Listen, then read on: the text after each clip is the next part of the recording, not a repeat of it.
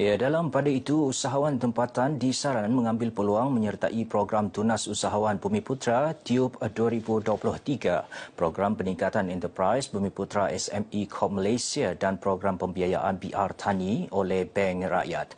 Menteri Pembangunan Usahawan dan Koperasi Datuk Iwan Benedik berkata, tiga program itu merupakan usaha membantu usahawan di negeri ini meningkatkan daya saing.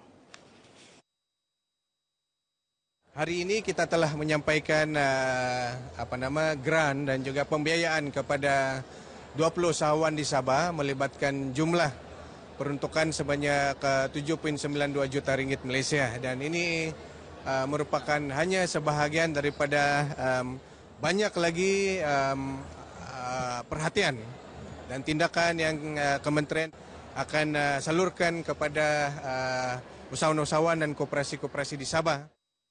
Jelasnya sehingga kini 10 siri latihan tiup telah berjaya dilaksanakan melibatkan 7,183 belia bumi putra dengan 97% daripadanya berjaya memulakan operasi perniagaan masing-masing. Beliau berucap dalam majlis perasmian program usahawan dan koperasi madani bersempena Pesta Keamatan 2023 dengan kerjasama Seranjaya Koperasi Malaysia di Tamparuli, Tuaran.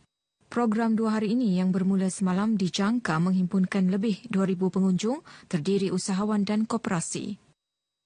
Kita juga ada salah satu insentif yang kita bagi ini ialah kita menyaut seruan-seruan daripada kerjaan. Khususnya jualan murah atau jualan diskaun yang diberikan oleh kerjaan.